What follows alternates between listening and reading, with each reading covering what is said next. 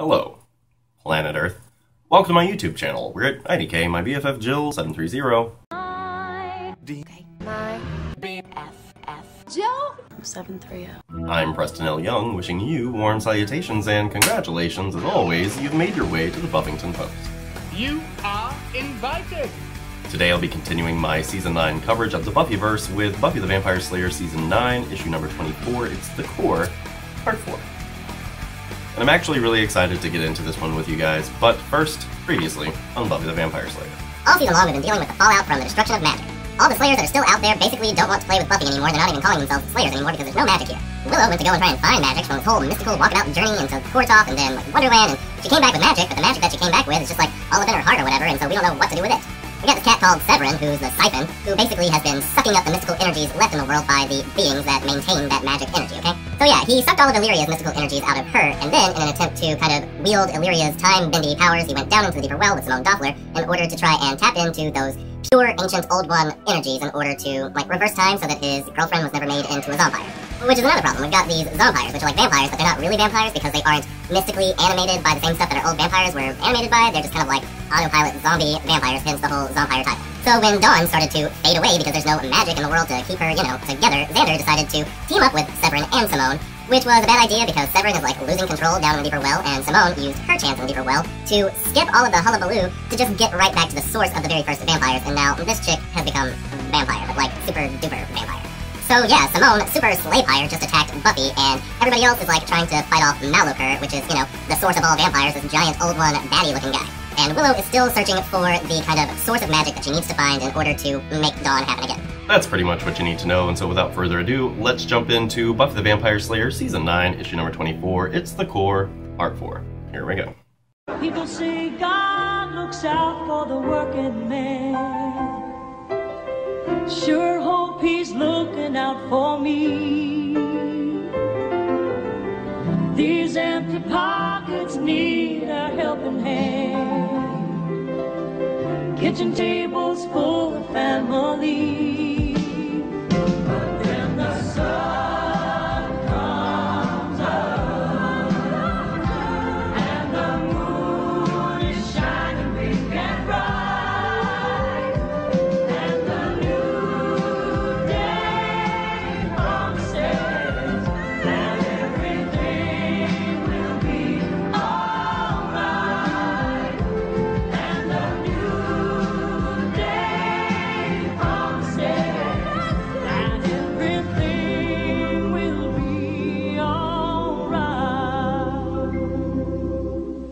So our issue opens up, and Buffy is asking Simone, like, why would you become a vampire? You're a slayer. This isn't like what we're supposed to do. But then Simone takes this opportunity to say, you know what, Buffy? I'm done playing by your rules. She points out the fact that the only reason she was a slayer was because Buffy made her so. Like, she didn't choose to be a slayer, she was chosen, and now, by becoming vampire, she's made a legitimate choice for herself.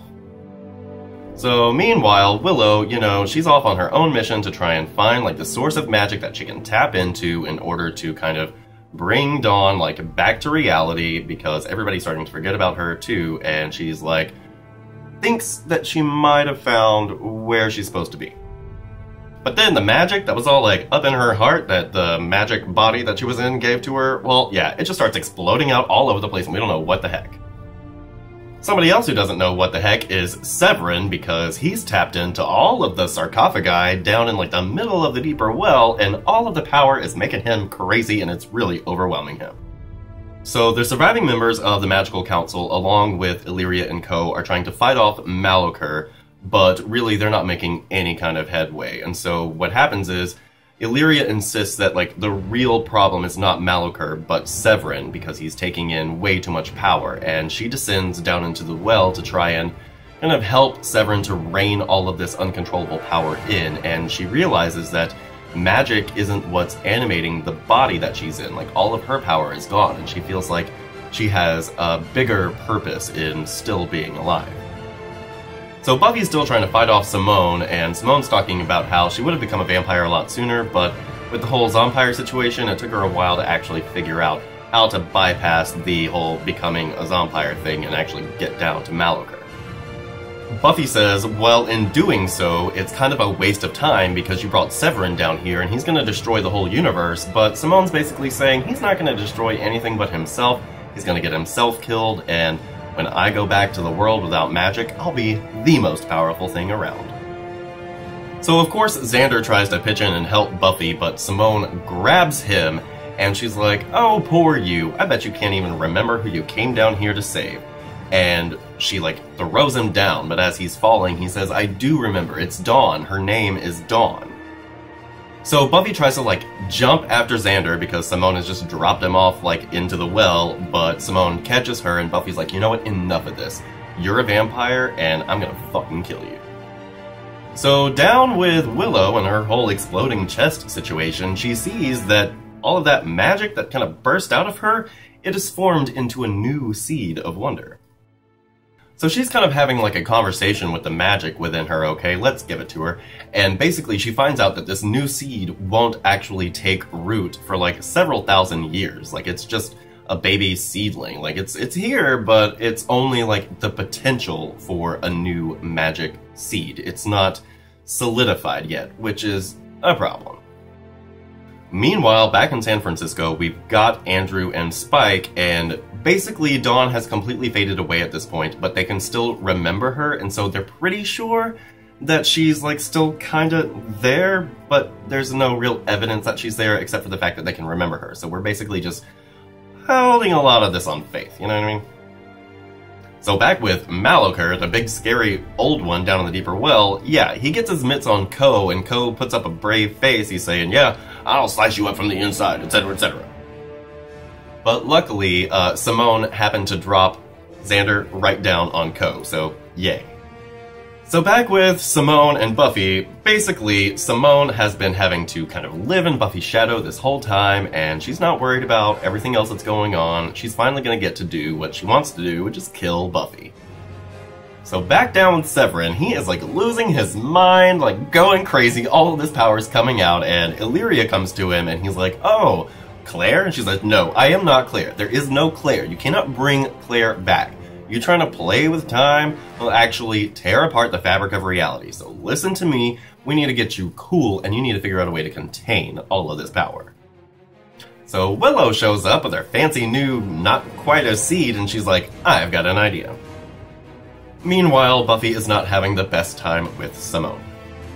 Simone's like, come on girl, why don't you just give up already? And she says, uh, because you're a vampire, and I'm the Slayer. So back with Severin, Willow, and Illyria, like, basically, Severin has way too much power, and Willow wants him to try and channel it into the seed. Like, he's been collecting all of this mystical mojo for all this time, and what he can do to try and, like, make this world a better place is actually to push all of that power into the seed to make it kind of solidify and jumpstart it. And basically, he doesn't want to do this. He wants to use all of this power for what he's been trying to do all season. And Illyria lays it out to him. She says, I had a friend who was just like you. He was trying, like, to go on these wild goose hunts to try and, like, save his loved one. And of course, she's talking about Wesley, and Wesley, sure, he was not able to live without Fred, but he died trying to make the world a better place, and that is the opportunity that Severin now has. So Illyria decides to stay down in the deeper well and help Severin to figure out how to push all of these mystical energies into the seed. And Willow's like, hey, you know, like, I'll do this. Like, magic is my job, the seed is my responsibility. But Illyria says, no, let me do this. It's my power. I understand all of this power and I understand what it's for. And your power will return to you once we've done this. And your responsibility should really be bringing the Slayer's sister back. And basically, Willow says, this isn't what I expected from somebody called Illyria the Merciless. And Illyria says, you know, this is not what I expected either. Meanwhile, stuff is still fucking crazy with Maloker and everybody trying to fight this giant guy off, okay? So Severin is gonna put the magic into the seed, and it's gonna be like, as Willow says, a magical Chernobyl around here. And so they everybody like needs to go, and Simone comes along and says, "Oh no no no, nobody's going anywhere." And we see that she has stabbed Buffy through with the scythe, and yeah. And Simone is super playing for keeps. And that's where we end the issue.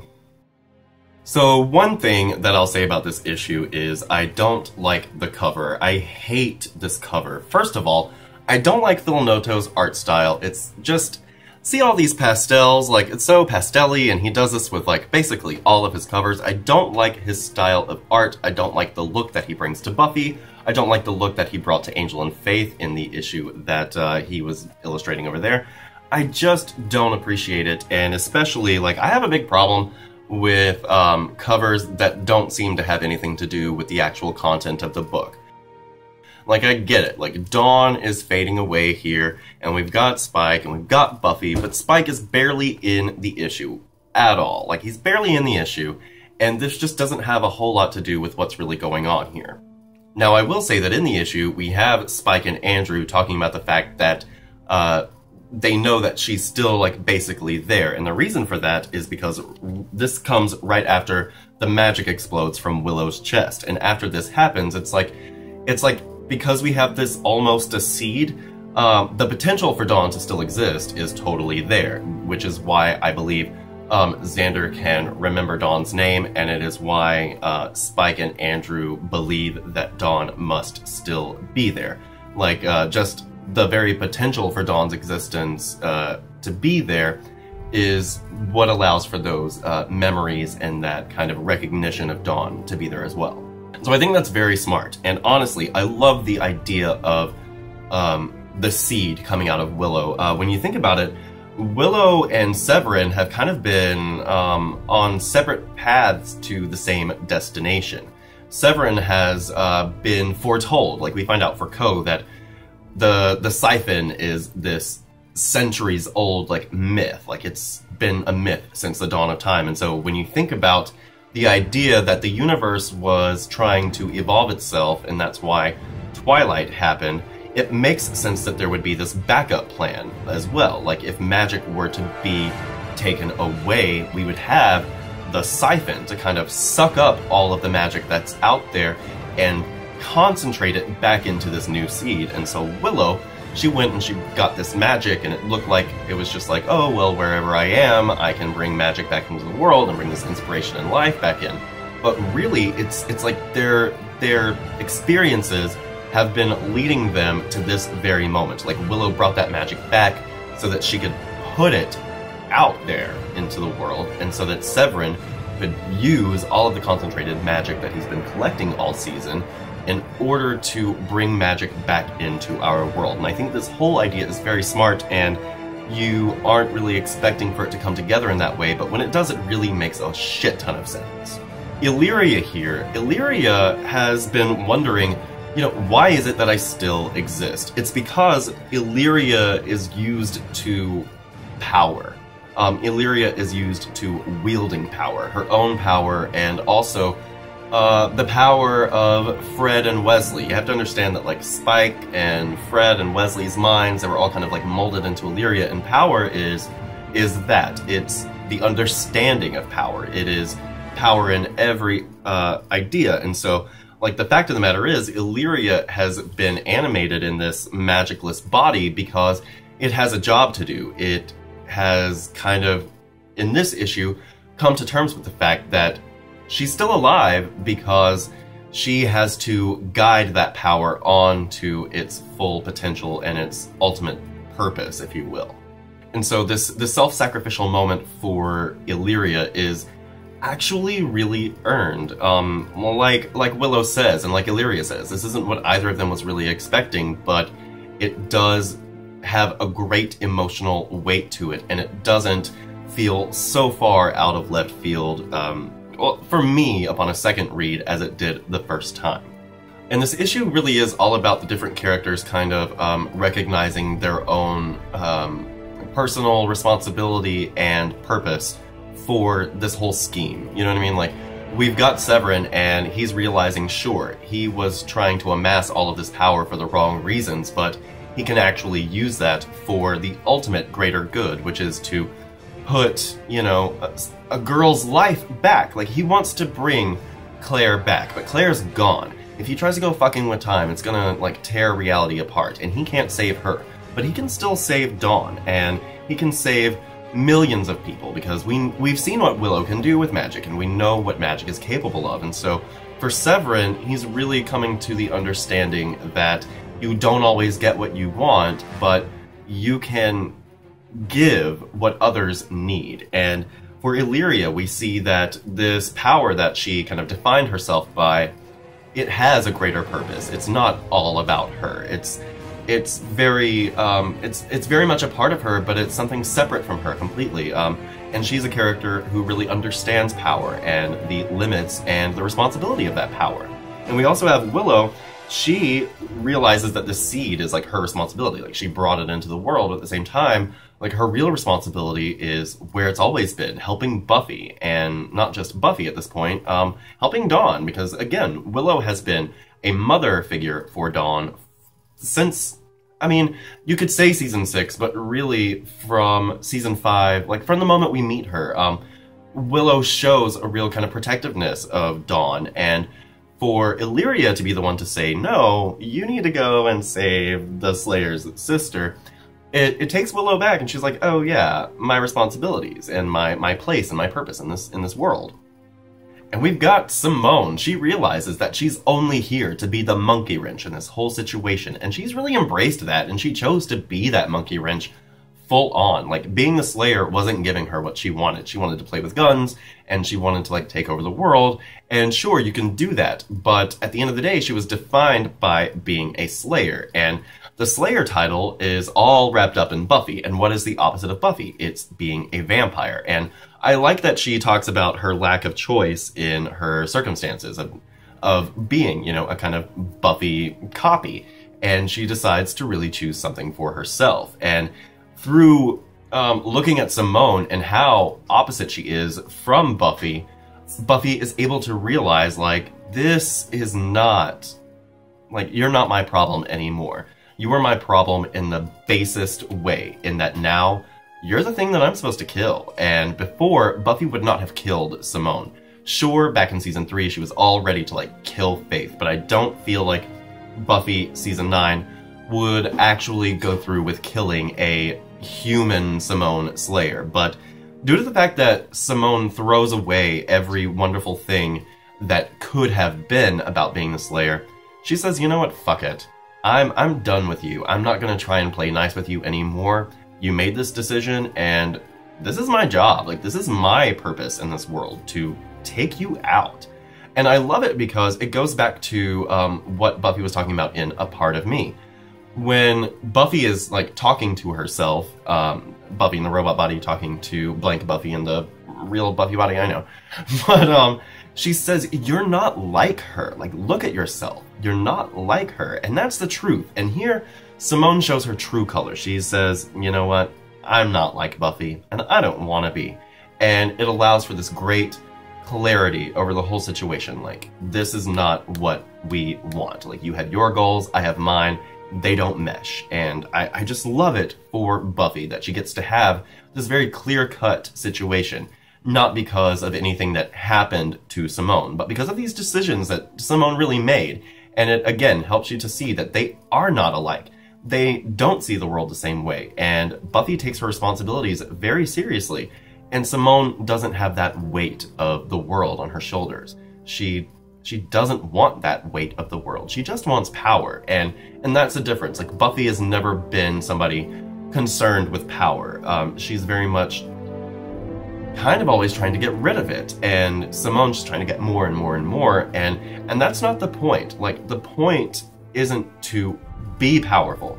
It's to use the power that you have for something good, like for others. And and Simone just way beyond that. She's totally like not even there with us anymore. And so yeah, the cover, hate it, but the content, love it. I really enjoy what's going on in this issue, and I like all of the implications that it has. Like all season long, we've been dealing with this magicless world, and now we're like surrounded by all of this magic and it's all crazy. And where do we go from here? Well, stay tuned for issue number 25. It's the finale of season 9.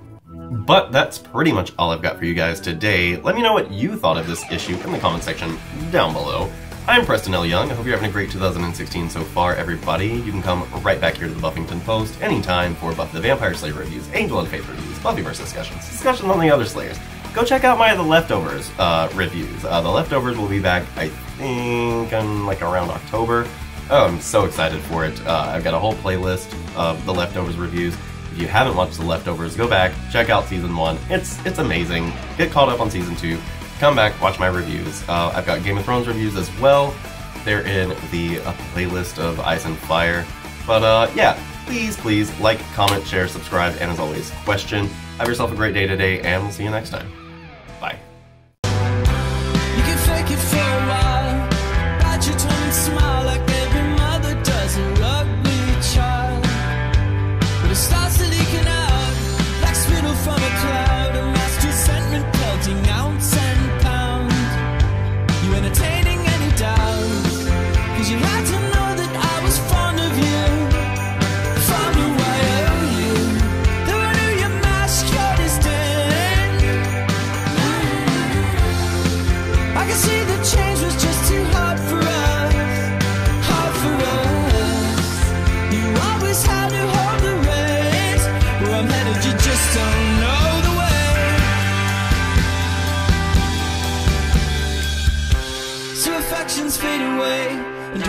just learned to play the most ridiculous repulsive